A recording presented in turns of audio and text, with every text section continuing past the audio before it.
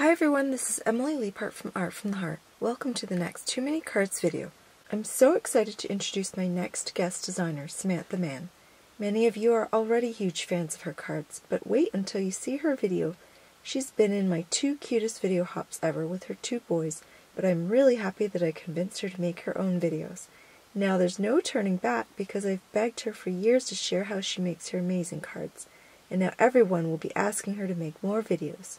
Heffy Doodle is our generous sponsor, and Sam and I are featuring several products, including the Super Dudes bundle, which has adorable images with fun and unique sentiments for birthdays and encouragement cards for anyone on your mailing list, and especially card makers. I just love that little greeting card stamp. The Rescue Dogs bundle was a gift with purchase, and I'll be using one of the dogs on my second card since they go perfectly with the Super Dudes bundle. We're also featuring both the cityscape and Rays the Roof stencils, which are fantastic for creating scenes and backgrounds. In my order, I threw in these extra word dies, which read My Hero, Super, and Crafty. Originally, I was going to incorporate them all in one card, but I went with different designs, so I only used two of the three. I'm going to watercolor these images, so I stamp multiples on watercolor cardstock using VersaFine Onyx Black Pigment ink. Then I heat emboss with clear embossing powder. I smoosh my distress inks on my new Brutus Monroe media mat and start watercoloring. I won't be showing all of the coloring since it's quite simple and there's a lot of repetition. Once all the images have been colored, dried, and die cut, I arrange them into scenes for my cards.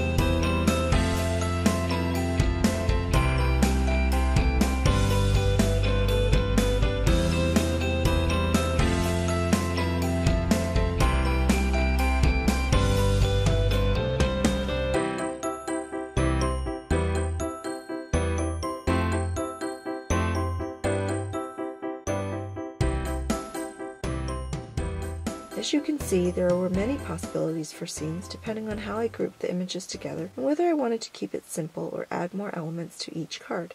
To create the background for my first scene, I taped down an A2 watercolor panel, then secure the cityscape stencil on top. I'm going to use the section with the windows and sponge in some lights with two shades of yellow.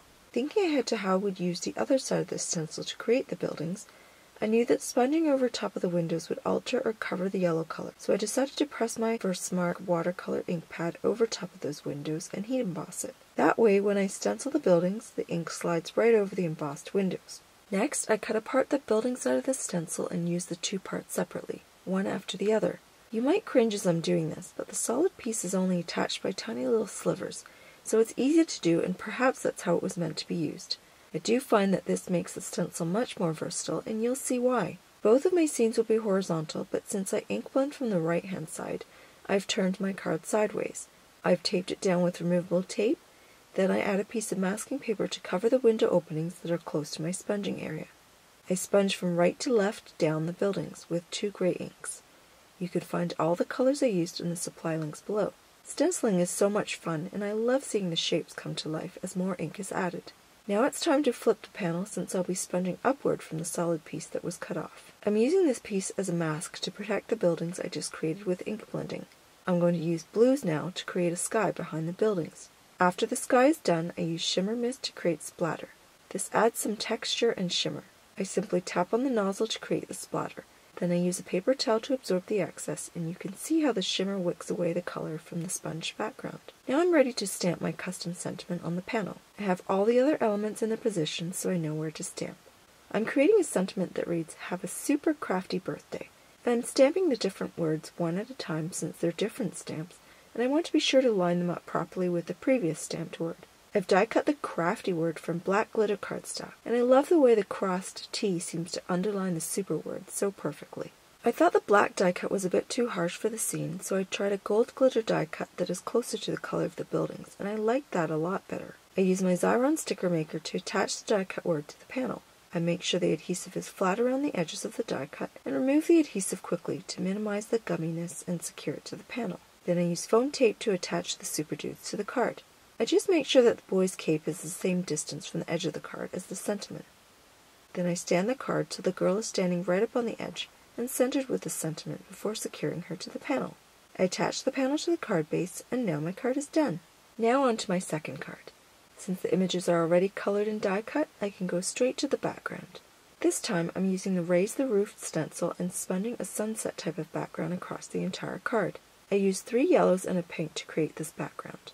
At the end, I go over all the rays with the lightest shade of yellow to blend it all together nicely.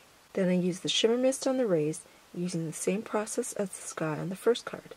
To create the custom sentiment on the second card, I do a mock-up for the sentiment so I can get the placement just right before stamping. I stamp and trim the sentiment that reads, Hope your day is as super as you are. Only I'm replacing the stamped super with the die-cut super, this time in black glitter cardstock. I wrestled with whether or not to cut this stamp apart since it would have been so much easier, but in the end I decided not to, opting for masking and multiple stamping.